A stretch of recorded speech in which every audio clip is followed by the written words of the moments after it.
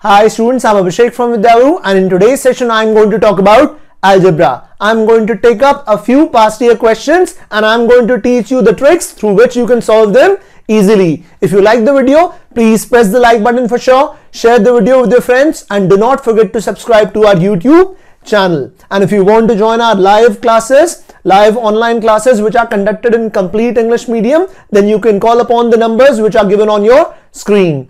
As you can see, I'm speaking in complete English medium. This is because a lot of our students from South India, a lot of our students from Northeast India are not very well versed with Hindi. So that's why we record complete English medium videos for our students because everybody can then join us. Everybody can then make full benefit of our teaching. So let's get started. Let's look at the first question which has appeared in the past. And the question on your screen is a square plus b square is equal to 5ab. You have to find out the value of a square upon b square plus b square upon a square. That is the expression which we have to work with. So let's have a look at it.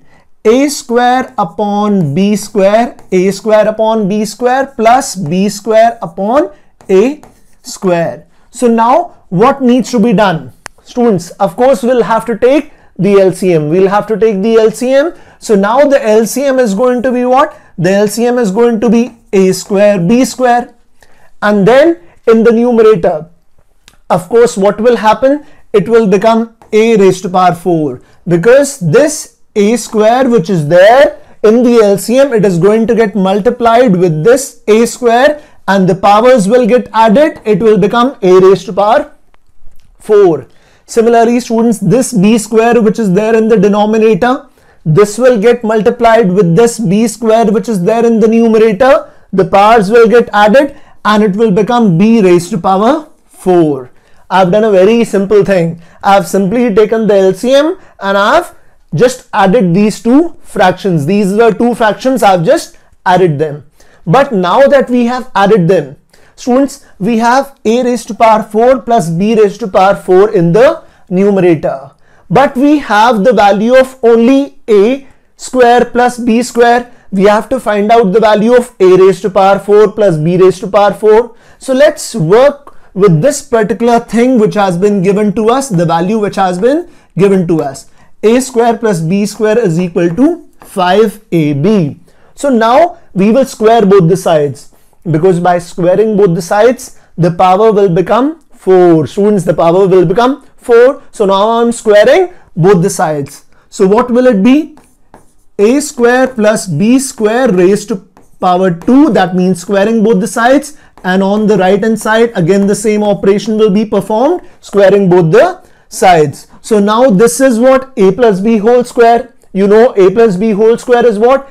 A square plus b square plus 2ab now, when we expand it, it will become a raised to power 4 plus b raised to power 4 plus 2a square b square and on the right hand side what will it turn out to be? It will turn out to be 25a square b square. Sure? Very simply a plus b whole square that is we have that's all we have done. Now a raised to power 4 plus b raised to power 4 is uh, there on the left hand side 2a square b square and this 25a square b square they are similar terms. So on the right hand side we will be getting 23a square b square. When this 2a square b square moves to the right hand side gets subtracted we are left with 23a square b square. So students the value. Now let's have a look at it. The value of a4 plus b4 is what? It is equal to 23a square b square. Now we will put the value. Now we will put this value of a raised to power 4 plus b raised to power 4 in this expression. So what will it turn out to be? The numerator will turn out to be, the numerator will turn out to be 23 a square b square. And what do we have in the denominator? Students in the denominator, we have a similar expression a square b square. So now a square b square, they will cancel each other out they will cancel each other out. We are left with 23. The answer is option B 23. Don't get confused. Option C is minus 23. The answer is only 23 as we have just calculated. An interesting question. Now let's look at the next question. And if you want students, if you want more such questions from my side, if you want to want me to make more such videos of high level questions, then you have to request for that in the comment box. I expect that much from you. And do not forget to like this video and uh, share it with your friends. That's how we get motivated. That's how we get motivated to bring more and more videos for your benefit. Okay, let's see. a plus b plus c is equal to 0. We have to find out the value of a square plus b square plus c square upon a square minus bc. So students look at this expression. We have to find the value of this expression but we do not have but we do not have a square plus b square plus c square we only have the value of a plus b plus c. So now somehow we will have to arrive at this expression. We will have to find out the value of a square plus b square plus c square. Now let's see how we are going to do that. We have been given a plus b plus c is equal to 0. Sure. So students, b plus c, b plus c is equal to minus a. Very simply, I have just shifted a to the other side. So a will become minus a. Now I'm going to square both the sides. Why am I squaring? Because I want the power 2. I want the power 2. So I have to square both the sides. So when I square both the sides, b plus c whole square and on the right hand side I have minus a square. So b plus c whole square, b square plus c square plus 2bc. Sure minus a square. Students, minus a square will give me what? It will give me a square. Sure?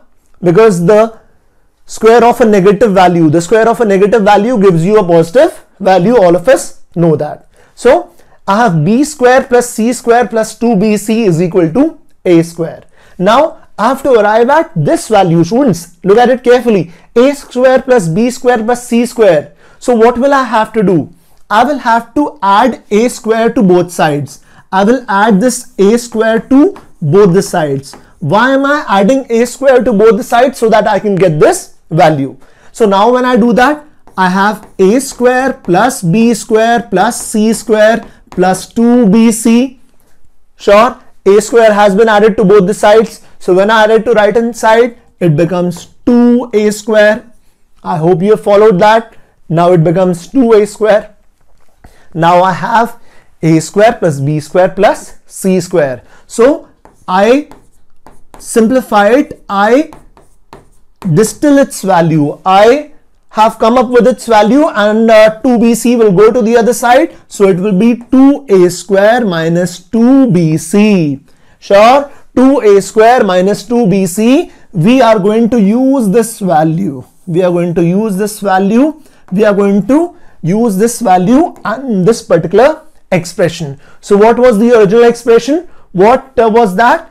Students, it was a square plus b square plus c square, sure, divided by a square minus bc. Now you know the value of a square plus b square plus c square is what? 2a square minus 2bc.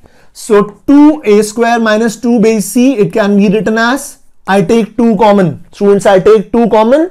So it will be written as 2a square minus bc. Very simple. I've just taken 2 common, done nothing. Fantastic. It will be divided by what? It will be divided by, in the denominator, we have a square minus bc. Now you know why I have taken 2 as the common factor. Because the moment I take 2 as the common factor, the expressions become similar. a square minus bc is there in the numerator, it is there in the denominator, they cancel each other. They cancel each other and what we are left with is 2. So the final answer is 2 and option C.